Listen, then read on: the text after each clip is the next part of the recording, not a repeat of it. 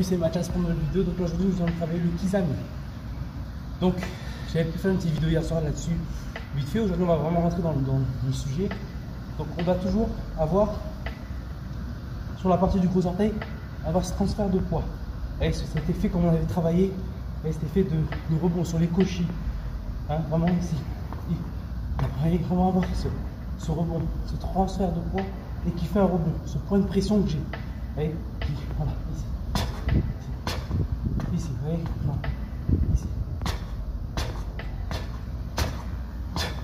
Ensuite, le kizami, est vachement relâché.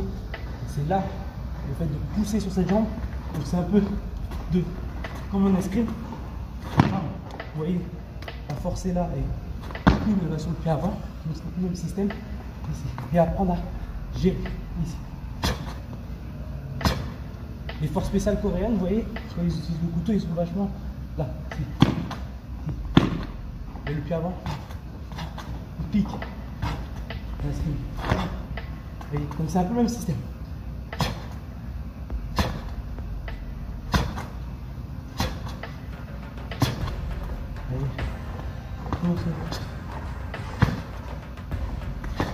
Ensuite, après, on peut rajouter la hanche.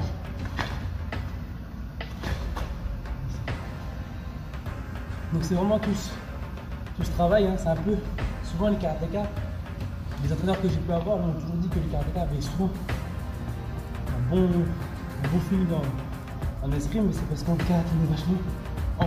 Donc cette poussée qu'on a là, c'est là, il faut toujours être répertorier le poids, pas partir dans sa côté, il faut toujours avoir le contrôle.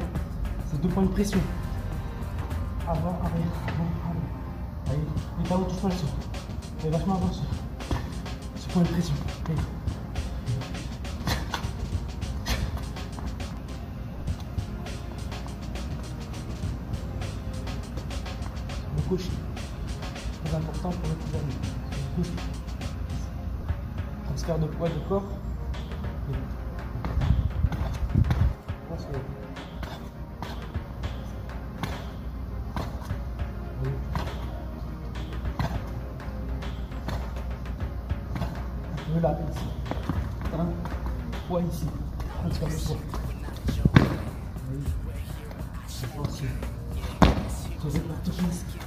un peu le même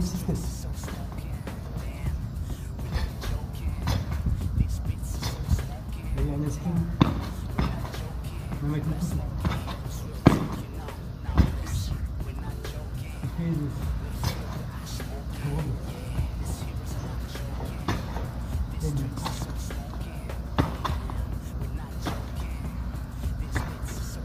Et relâcher au niveau des épaules.